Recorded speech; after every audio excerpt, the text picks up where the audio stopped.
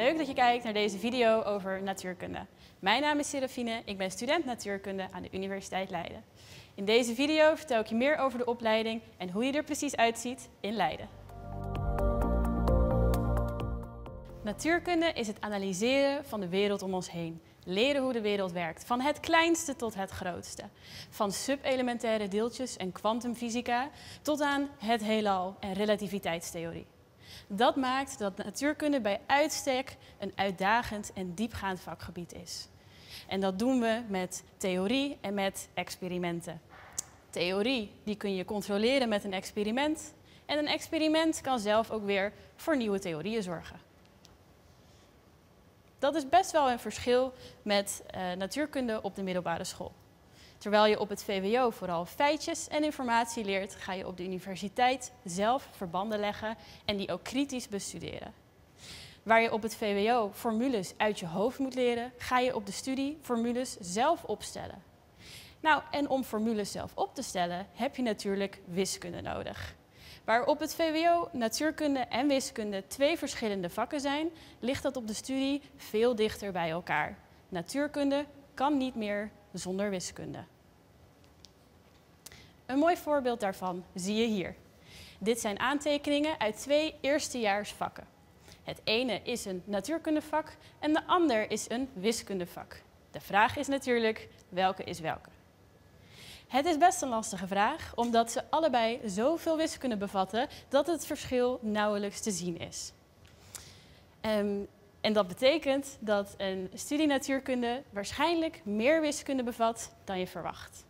Het antwoord trouwens, de rechter, is natuurkunde. In Leiden is een studie natuurkunde verbonden met fundamenteel onderzoek. Je krijgt les van professoren die zelf actief zijn in onderzoek en je gaat ook zelf aan de slag om bij te dragen aan het natuurkundig onderzoek van de wereld. Tijdens de studie is er ruimte voor verdieping of voor verbreding.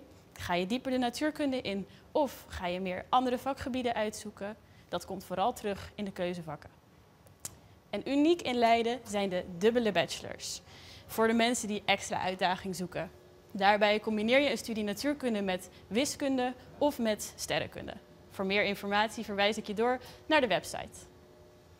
Ten slotte heeft Leiden een rijke natuurkundige geschiedenis. Met grote namen zoals Einstein, Lorentz en Kamerling-Onnes.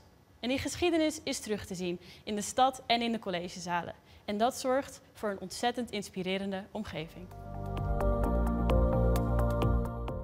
De bachelor bestaat uit 180 studiepunten verdeeld over drie jaar. Dus 60 studiepunten per jaar. In het eerste jaar heb je natuurkundevakken, wiskundevakken en een aantal overige. Dit zijn bijvoorbeeld astrofysica of programmeermethoden. Daarnaast is er iets belangrijks in het eerste jaar, namelijk het bindend studieadvies of BSA. Dit is een regeling die stelt dat je in het eerste jaar minimaal 45 van de 60 studiepunten moet halen. Lukt dit niet, dan mag je helaas niet verder met de studie. Kom je aan in het tweede jaar, dan hebben we meer natuurkundevakken en ook iets nieuws, namelijk keuzeruimte. Later meer hierover. In het derde jaar ligt de focus op twee dingen, namelijk keuzeruimte, wordt een heel groot onderdeel, en een bacheloronderzoek. Hier vertel ik later ook meer over. Het eerste jaar vormt de basis van de studie. Alle vakken die je hier krijgt heb je nodig om de rest van de studie mee door te komen.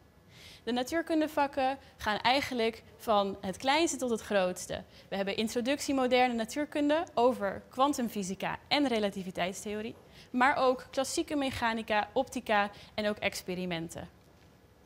De wiskunde in het eerste jaar is analyse en lineaire algebra. Analyse is eigenlijk calculus. Dat gaat door op de wiskunde B die je gewend bent van de middelbare school. In het tweede jaar is er meer ruimte voor verdieping en verbreding vanwege keuzevakken. Je hebt uh, ten eerste een voortgang op de natuurkundevakken die er ook dieper op ingaan. Waar je in het eerste jaar klassieke mechanica had, heb je nu in het tweede jaar classical mechanics. Gaat er net weer wat dieper op in. Daarnaast heb je in het tweede jaar heel veel keuzeruimte. Dit is een voorbeeld van vakken die je kunt kiezen in het tweede jaar. Er zijn ontzettend veel opties. En je kunt dus ook kiezen voor verdieping of verbreding. Ga je dieper de natuurkunde in met relativistic electrodynamics of ga je juist voor verbreding met oriëntatie op onderwijs? Er zijn ontzettend veel opties. Normaliter kies je twee of drie vakken, maar meer mag natuurlijk ook. In het derde jaar heb je eigenlijk twee fases. De een is keuzeruimte, ander is onderzoek. In je keuzeruimte heb je twee opties. Ga je voor keuzevakken of voor een minor? Met keuzevakken ga je zelf een pakket samenstellen met natuurkundige vakken. En dat gaat van astroparticle physics tot physics of finance. Er zijn ontzettend veel mogelijkheden. Een minor is een alternatief waarbij je niet per se natuurkunde hoeft te doen. Dan kies je een pakket uit van een andere universiteit of zelfs in het buitenland. En dan kun je eigenlijk alles doen. Tweede fase is het onderzoek.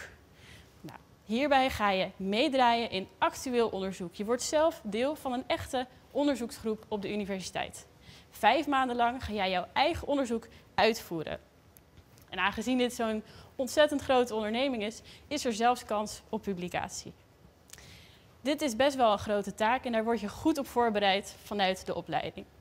De hele studie lang word je uh, begeleid door heel veel experimenten te doen en dat te combineren met theorie. In Leiden doen we heel veel experimenten en met name doen wij veel open experimenten, waarbij je zelf een onderzoek bedenkt en uitvoert. Als je een bachelor hebt afgerond, dan kun je ervoor kiezen om nog een master te gaan doen. Elke natuurkundemaster duurt twee jaar. Kies je ervoor om een master in Leiden te gaan doen, dan zijn dit de opties voor verdiepende masters. Zo zie je veel voorbeelden van kwantummasters, maar bijvoorbeeld ook kosmologie, theoretische natuurkunde of biofysica. Ga je liever voor een verbredende master, dan zijn dit onze mogelijkheden. Je kunt natuurkunde combineren met business, met wetenschapscommunicatie of met educatie. Nou, heb je een master afgerond, waar kom je dan terecht? Hiernaast zie je de cijfers na zes jaar na het afstuderen. Je ziet dat het merendeel terechtkomt in wetenschappelijk onderzoek of in research and development. Daarnaast gaat een groot deel naar consultancy en financiële instellingen. ICT en onderwijs zijn ook nog mogelijkheden. Daarnaast zie je dat het kopje overig nog best wel groot is, 9%. De reden daarvoor is dat je als natuurkundige zoveel opties hebt dat het eigenlijk niet te vangen valt in dit hele rijtje. Door je probleemoplossend vermogen en de manier van analytisch denken ben je eigenlijk in ieder vakgebied gewild. Nou, dat betekent dus ook dat je als natuurkundige vrij makkelijk aan een baan komt wanneer je eenmaal bent afgestudeerd. 90% vindt binnen één maand van het afstuderen een baan, waarvan het bruto maandsalaris bovengemiddeld is na anderhalf jaar. Natuurkunde is echt een studie voor jou als je wilt weten hoe dingen werken. Bijvoorbeeld, wat is zwaartekracht? Hoe werkt elektriciteit? Hoe werkt draadloos opladen, bijvoorbeeld? Als je houdt van puzzelen met theorie en met experimenten.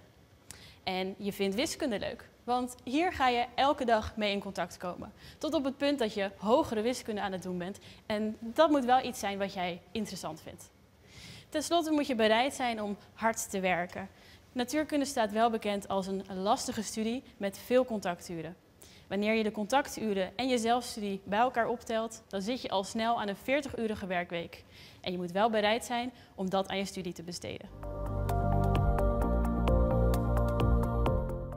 De toelatingseis voor de opleiding natuurkunde is een Nederlands VWO-diploma met natuurkunde en wiskunde B. Voor speciale gevallen en uitzonderingen verwijs ik je door naar de website. Daarnaast is een niet-officiële eis een goede motivatie en inzet.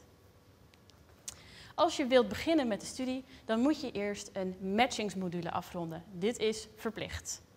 Tijdens de matching krijg je een proefje van de studie en ga je kijken of het echt wat voor jou is.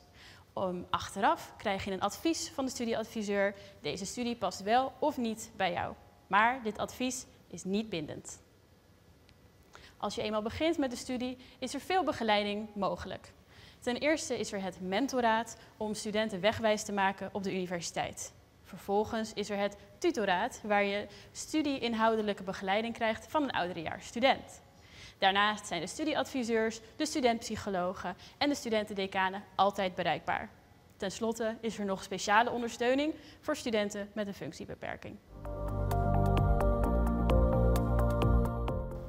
Wil je nou meer weten? Kom dan vooral langs op een van onze open dagen, proefstudeerdagen of kom meelopen met een eerstejaars student. Daarnaast kun je ons altijd een chatbericht sturen als je ergens een vraag over hebt. Voor meer informatie over de studie natuurkunde verwijs ik je door naar de website. Hier vind je onder andere alle informatie die ik in deze video heb verteld, maar ook nog veel meer. Bijvoorbeeld ervaringen van studenten, inhoud over alle vakken en meerdere contactpunten voor het geval je vragen hebt. Ik wil je bedanken voor het kijken van deze video. Ik hoop dat het je geholpen heeft bij het maken van je studiekeuze. En misschien tot snel op een van onze open dagen.